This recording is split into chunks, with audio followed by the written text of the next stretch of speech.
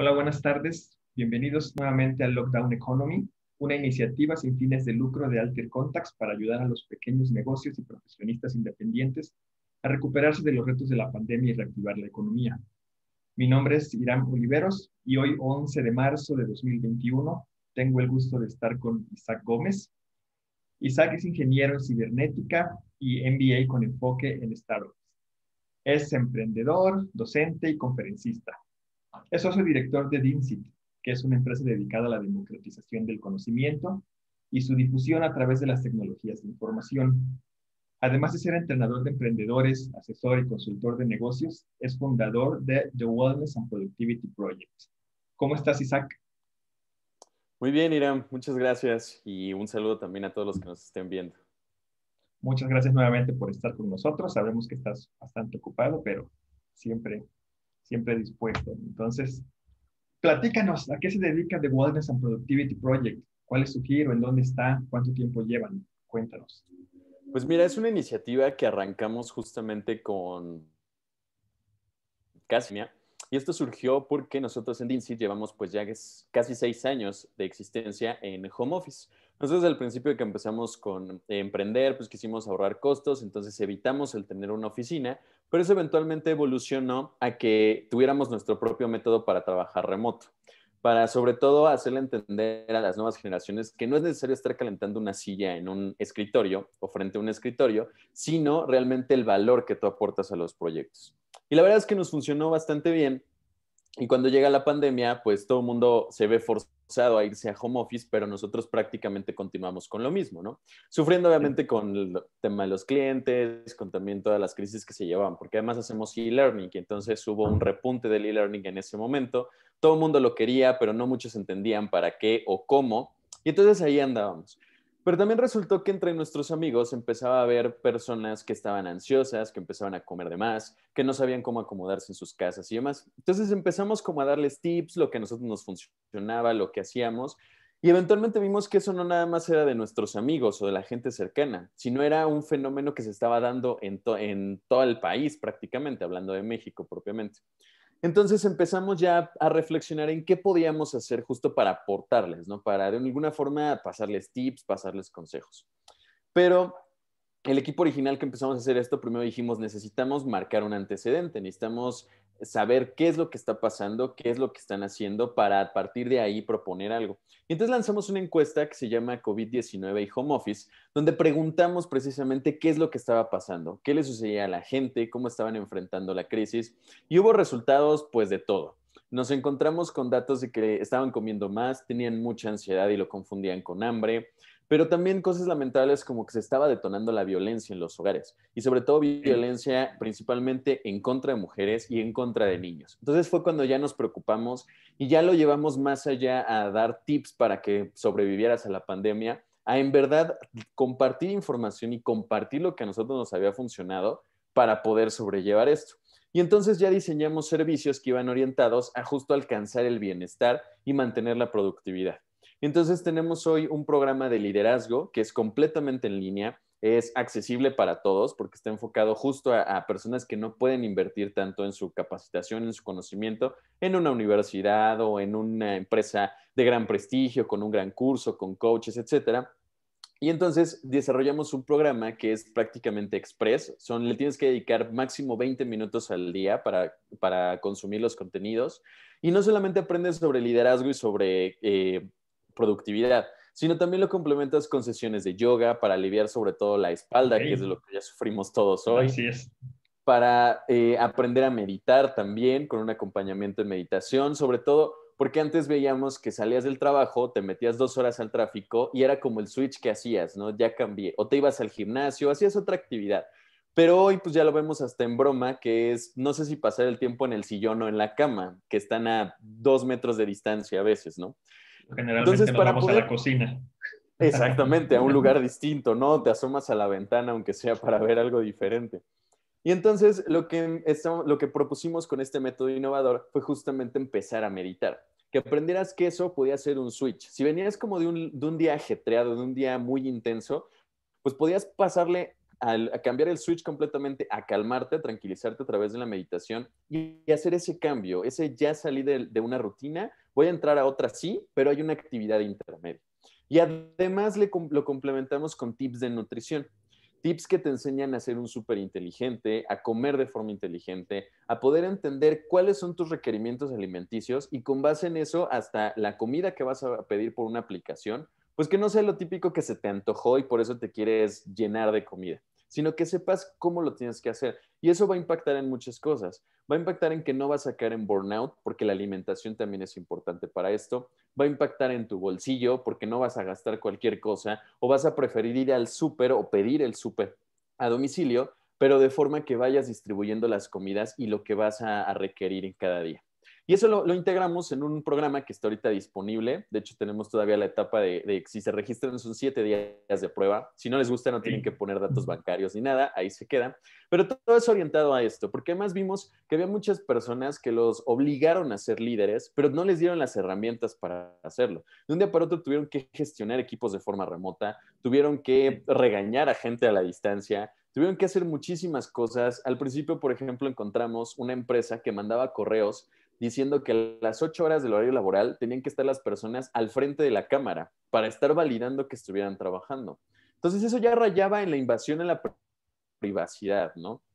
Y después vimos que otros eran más flexibles. Si tenías una junta en la tarde y la siguiente, en, la mañana, perdón, y la siguiente hasta en la tarde, pues tenías la libertad en el día de distribuir tus actividades, hacer otras cosas, ejercicio y demás, ¿no? Pero es, es demasiado extremista cómo estaban las organizaciones. Entonces nosotros para ayudar, no propiamente a las organizaciones, aunque sí tenemos servicios orientados in company, sino para ayudarnos a nosotros como individuos a que pudiéramos nosotros alcanzar el bienestar y con eso llevarlo hacia nuestros equipos de trabajo, ayudarnos a, esa gestión del cambio, sobre todo donde las tecnologías de la información pues fueron el parteaguas tal cual. Ok, entonces el proyecto de Wellness and Productivity inicia con la pandemia, aunque tú ya tenías tu experiencia antes de esto. Así es, la marca como tal inició con la pandemia pero es básicamente una meta a la que llegamos después de todo lo que trabajamos, que además no sabíamos que estábamos desarrollando un método que podía servir a los demás. Nosotros lo hacíamos pues por innovar en nuestro, en nuestro medio de trabajo. Pero esto fue padrísimo encontrar que todo lo que habíamos aprendido, todo lo que entre nosotros compartíamos y demás, le podía ayudar a los demás. Entonces, sí, básicamente esta iniciativa nació de la pandemia. Ok, porque al final todos en ambos lados de la computadora necesitamos adaptarnos a, las nuevas condiciones. Es correcto. ¿Y, cuántos empleados tienes o cuántos clientes normalmente tienes? ¿De qué tamaño es la empresa? Pues, mira, nosotros somos ahorita cinco los que estamos dedicados al, al proyecto, entre los que hacemos las grabaciones, entre la edición, entre el marketing y demás, somos cinco personas además de los acompañantes, porque eso es lo interesante. Nosotros no salimos a decir, bueno, hoy se nos ocurrió hacer esto y vamos a ver cómo lo desarrollamos, sino nosotros invitamos a los especialistas de cada área a que compartieran. Tenemos al acompañante de meditación, que él también tiene su propio emprendimiento para esto. Tenemos a la nutrióloga que también emprende ahorita en, medio de la pandemia, evolucionó sus servicios para pasar de la, de la consulta tradicional a diseñar ya un método que te alcanza, te ayuda a alcanzar tus objetivos. Por ejemplo, tenemos una instructora de yoga que antes de la pandemia era actriz y yoga lo hacía como por hobby. También evolucionó y ahora se dedica a clases de yoga, entonces también está muy orientada a esto y los contenidos de liderazgo en los que participo, los contenidos de coaching en los que también participa un coach certificado. Entonces, cada uno de los acompañantes está especializado en un área y así es como lo hacemos. Y esto además lo complementamos todo el año pasado con webinars. Cada miércoles tenemos un programa que se llamaba Líderes de Hoy, que está pronto a continuar otra vez. Y cada semana venía un líder de alguna área a platicarnos cuál había sido su experiencia, cómo había tenido que aprender, cómo de plano no es que el líder nazca con estrella y a partir de ahí lo puedas hacer, sino cómo en el camino te puedes hacer y también deshacer. Entonces era muy interesante cómo nos compartían su experiencia de cómo lo habían logrado, en qué se que habían equivocado, en qué habían atinado, pero sobre todo con el mensaje de nada está escrito, ¿no? Y que aparte es lo que demostró la pandemia. Traes un camino, traes una formación, pero eso también lo tienes que evolucionar, porque si te quedas ahí sentado nada más a ver la vida pasar, pues puede que vayas en retroceso. Así es. Bueno, tendré que preguntar ahora qué es lo que, lo que has estado haciendo durante la pandemia, pero ya lo sé, ya me lo dijiste. Creo que has estado bastante activo. Entonces, platícame, ¿qué has hecho para atraer clientes? ¿Qué te ha funcionado y qué no? ¿Cómo va en general este negocio? Pues mira, sí, sí te puedo platicar varias cosas porque la primera vez que diseñamos un servicio era completamente in company. Primero lo, lo entendíamos como que las empresas lo requerían, pero nos topamos con empresas que por una parte no tenían presupuesto, por otra parte no sabían qué hacer y entonces estaban haciendo lo que podían y también entendían que era solamente wellness y que les íbamos a dar clases de yoga para que se estiraran como que no, no terminaban de entender este enfoque, porque además hoy, va, hoy vemos y hoy valoramos a recursos humanos como un área que es prácticamente el punto de contacto con todas las demás, entre directores, asistentes, operativos, toda la empresa, el punto de contacto es recursos humanos. Entonces era un área que estaba completamente en crisis, no sabía qué hacer. Entonces nosotros llegábamos con una propuesta y nos decían, no tengo dinero. O nos decían, yo ya hago algo, les mando PDFs a mis empleados. Entonces estaba como, como un poco ahí eh, difuso. ¿Cómo hacíamos la promoción? Pues tocando puertas. Literal, abríamos LinkedIn, contactos, vemos y demás, ¿no? Lo obtuvimos varias personas que nos escucharon, que sí nos decían, está padrísimo, pero ahorita no tengo la forma de contratarlos, etcétera. Entonces lo evolucionamos en el camino, obviamente siempre recibiendo feedback de los usuarios. Eso fue sumamente importante. Las muestras se las enseñamos a nuestros amigos, conocidos, inclusive a nuestros propios clientes de Insit. Nos daban retroalimentación y con eso lo íbamos evolucionando. Hasta que este año ya lanzamos el entrenamiento, pero ya dirigido a las personas muy enfocado a que las personas desarrollen su liderazgo. Inclusive la frase con la que terminamos siempre es, ¿vas a desarrollar tu liderazgo o te vas a esperar hasta la siguiente crisis? Porque es eso. eso sí pega duro, ¿verdad? Exacto. Hoy ya vimos que las empresas no lo son todo y no tienen la solución a todo, pero que es también responsabilidad nuestra de forma individual seguirnos desarrollando en este campo. Y entonces ahorita lo que nos está funcionando, que es básicamente lo que le funciona a todos, es el marketing digital a través de redes sociales, a través de comunidades también. Estamos formando una comunidad de líderes que no propiamente están dentro del entrenamiento, porque el entrenamiento solo es una división del negocio. Pero también nuestro objetivo es compartir información, es ser empáticos, es entender en qué posición están y tratar de ayudarlos brindándoles herramientas, contenidos, experiencias de alguien más, etc. Entonces, prácticamente lo que nos ha funcionado ahorita es, el medio digital para todo. Perfecto, todos tuvimos que aprender algo nuevo. Así es. Oye, ¿y tú sabes cómo están ahorita tus clientes? ¿Cómo les ha ido a ellos, tus clientes y a tu competencia? Sí, claro. Mira, tenemos competidores de toda índole. La verdad es que muy orgullosamente te puedo decir que somos los únicos que empaquetamos wellness y liderazgo en uno y así es como lo ofrecemos. Tenemos competidores de ambas partes, tanto quienes dan cursos en línea de liderazgo, de mil y un cosas, como los que dan de wellness, que entre yoga, entre meditación, entre nutrición, pero todo como por separado. Ese sería como el plano de la competencia en la que estamos ahorita. Y el tema de nuestros clientes, pues la verdad es que hemos recibido muy buen feedback. Nuestra meta es alcanzar a un, entrenar a un millón de líderes, aunque todo es un camino que tenemos que recorrer, vamos empezando, pero hemos recibido eh, muy buenas respuestas, muy buen feedback. La verdad es que eh, estuvimos regalando también becas al principio para quienes, quienes quisieran cursar esto, pero pues no tenían trabajo o no podían pagarlo etcétera. Entonces estuvimos regalando becas a, y lo único que pedíamos es que nos ayudaran con su feedback. Y así es como lo hemos ido mejorando. Entonces los clientes están, la verdad es que bastante contentos. Hay quienes ya nos están pidiendo también desarrollar otro tipo de cursos, pero eso eventualmente lo, lo haremos. Pero la verdad es que ha sido una respuesta. Es un método completamente innovador. Es un método que es microlearning, son puros videos que tú puedes ver desde cualquier dispositivo en la situación en la que estés. Hay quienes nos han dicho que los ven mientras corren, mientras están en el tráfico, porque hay gente que también sigue elaborando. Hay quienes se despiertan y mientras está lavando los dientes, la cara y demás, tiene el video de fondo, porque aparte lo interesante es que lo puedes reproducir y siempre te vamos a dar una herramienta o un aprendizaje que puedes adoptar de forma inmediata. Entonces nos han contado, tenemos uno de nuestros usuarios que nos dice que lo escuchaba en las mañanas cuando se levantaba mientras se tomaba el café y que poco a poco fue cambiando su rutina a cuando se sentaba en la computadora o investigar más al respecto, o diseñar algo, o compartirlo con sus colaboradores, pero siempre él, el, impacto lo tenía de forma inmediata en cuanto terminaba de ver la cápsula. Ok, ok. La verdad es que está bastante interesante ser parte de eso. Y la pregunta de la que todos quisiéramos saber la respuesta exacta, pero desgraciadamente no, no sabemos. ¿Cuál es, ¿Cuál es tu perspectiva para los próximos meses? para los próximos meses, me atrevería hasta a decirte para los siguientes dos años. Lo que yo considero es que este año todavía va a estar muy agitado. Ya no como el año pasado, porque creo que ya la mayoría ya entendimos que no va a haber un regreso a la normalidad. Ya estamos en una nueva normalidad y tenemos que adaptarnos.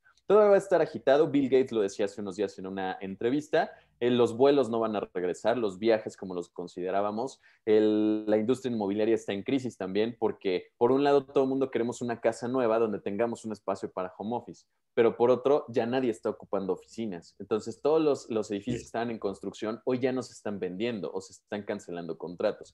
Entonces la industria inmobiliaria siempre ha movido el mundo, siempre. Si tú ves números, se basan en cuánta vivienda hace falta, cuánta vivienda se está cubriendo y demás, ¿no?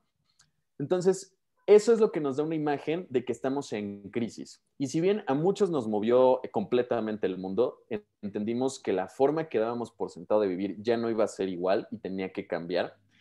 Este año va a ser como en donde se van a empezar a sentar esas cosas, donde vamos a definir el rumbo que vamos a tener, vamos a tomar decisiones respecto a los cambios que quisiéramos hacer en nuestras vidas. Creo que valoramos mucho la vida y la gente con la que nos relacionamos, que hoy inclusive no los podemos ver, no los podemos tocar y eso como latinos pues nos hace muchísima falta.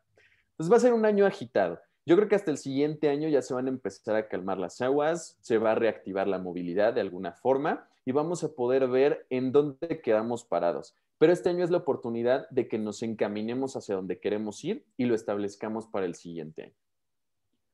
De acuerdo. Al final tenemos que adaptarnos a esta nueva forma que, que no va a cambiar. bueno, sí va a cambiar, no va a regresar a lo que era antes. Así es. Ok. Bueno, y como sabes, el objetivo principal de esta charla de Alter Contacts es buscar soluciones para que de alguna forma busquemos cómo podemos ayudarnos unos a otros. Así que puedes nombrar tres cosas en las que tú necesites ayuda. Tal vez alguien que nos escuche lo tenga a su alcance, está en sus manos. Claro, son bien sencillas.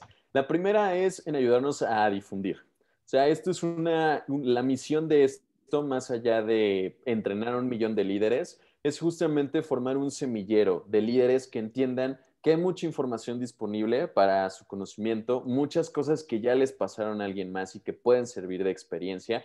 Entonces, en nuestra fanpage, por ejemplo, de Facebook, siempre compartimos notas, compartimos estudios, compartimos videos, muchísimas cosas. Tenemos inclusive un momento 11-11, que es a las 11-11 de la mañana, y es una frase de reflexión que el objetivo es que cuando te la topes en el feed de Facebook, te detengas un momento, reflexiones y continúes con tu día, pero hagas como esa pausa que te puede servir mucho. Ese es el primer caso, el, el difundir, que nos sigan y tener muchas más personas a las cuales alcanza. El segundo, pues obviamente es el entrenamiento. Nuestra misión es entrenar a un millón de líderes. Ese es el objetivo que nos pusimos. Entonces, obviamente, pues esta es una plataforma para que llegue a mucha más gente. A lo mejor quienes nos estén viendo no le, no le encuentre valor o no lo encuentre que sea para ellos, pero a lo mejor conoce a alguien que sí algún millennial, algún adolescente, inclusive tenemos usuarios adolescentes que se están ya formando con nosotros. Entonces, llegar hasta esas personas donde esto les aporta muchísimo valor y esta es la plataforma ideal. Y el tercero, el generar una comunidad. Queremos, más allá de ser un portal donde se publiquen notas o se comparte información, formar una comunidad, justo como tú le decías, donde se pueda llegar inclusive al intercambio. Tenemos muchísimos planes eh, a corto, mediano y largo plazo, pero entre ellos es formar una comunidad de seguidores que entendamos que el liderazgo cambió, que el liderazgo no es de unos cuantos, que cualquiera lo puede desarrollar Hoy entendemos que hasta el personal del aseo pueden ser líderes en su ámbito, en su lugar, pero pueden ser líderes, ¿no? Hoy no es nada más un privilegio, hoy es una necesidad. Entonces queremos formar esa comunidad en donde todos entendamos que hay que cambiar ese mindset que ya traíamos en la anterior normalidad. Muy bien, perfecto. Oye, ¿dónde te encontramos o cómo podemos contactarte? Pues en todas nuestras redes estamos como The Well Pro. La iniciativa es The Wellness and Productivity Project si acortamos las tres primeras palabras, letras de cada palabra, es de Wellpro. Así estamos en Facebook, estamos en Instagram y estamos en nuestro sitio web. Y en el sitio está toda la información sobre el entrenamiento, cómo registrarse. Es súper sencillo, hay una guía también ahí de cómo hacerlo y de inmediato tienes acceso a los contenidos y puedes iniciar con tu entrenamiento. Ok, pues muchas gracias Isaac. Eh, desde luego eh, vamos a poner toda esa información aquí junto, junto al video para que quien guste contactarte se sienta libre de hacerlo. Y también los invito a que nos den like y se suscriban a nuestro canal. Muchas gracias, Isaac, nuevamente. Eh, Y a los que nos escuchan, los invito a que, a que entren a nuestro canal porque tenemos información de diferentes países, diversos sectores, así como Isaac, eh, le sucede a muchas personas en distintas partes del mundo y cada quien reaccionó de formas distintas, entonces hay bastante conocimiento. Denle una checada a nuestro sitio y mantengámonos en contacto. Muchas gracias a todos. Gracias.